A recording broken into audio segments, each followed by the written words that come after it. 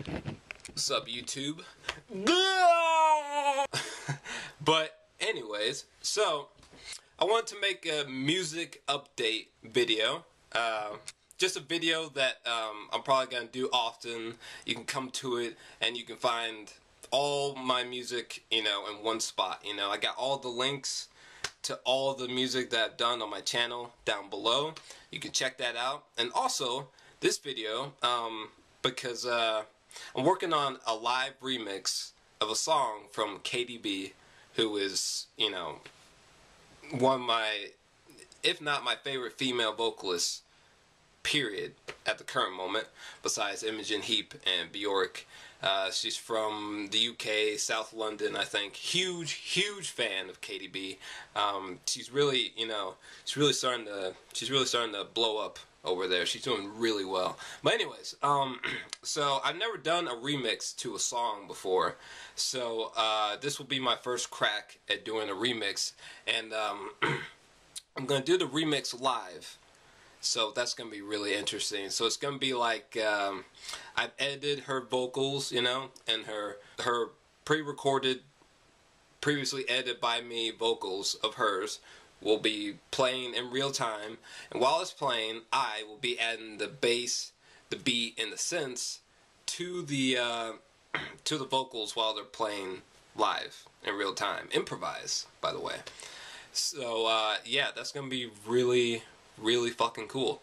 And um, unfortunately, this uh, live remix might not come out for another few weeks. So I wanted to give a teaser because I'm almost done with the I'm, not, I'm almost done edit, editing the vocals, so I wanted to give you guys a teaser of what this uh, remix is going to sound like. It's going to be a dubstep remix, and it's going to be really, really deep. But uh, I want you guys to hear a nice little teaser of what's to come. So, I'm about to show that to you right now, and I'm going to listen along with you. So, without further ado, in a few weeks I will be doing a remix to uh, a song from Katy B, which I'm not gonna say what the title is yet.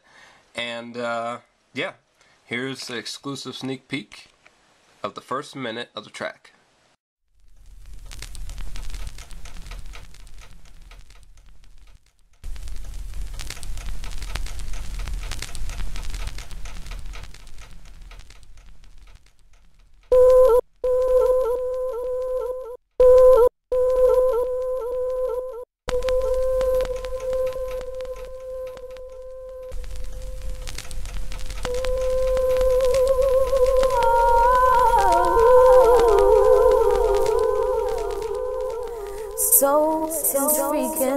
Intriguing. You got feeling